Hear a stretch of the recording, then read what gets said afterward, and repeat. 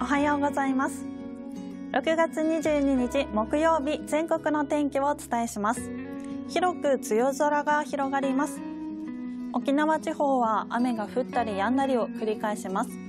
その他の西日本東日本では雨が降り一時的に雨足が強まる恐れがあります。また北日本も雲が広がりすっきりしない空となります。東北地方南部を中心に雨が心配なエリアがあります。折りたたみ傘があると安心です。朝は肌寒く感じるところも日中は過ごしやすい体感と言えそうです。また西日本は蒸し暑さも感じられそうです。各地服装選びにお気をつけください。最新の気象情報はお天気アプリウェザーニュースからもご確認いただけます。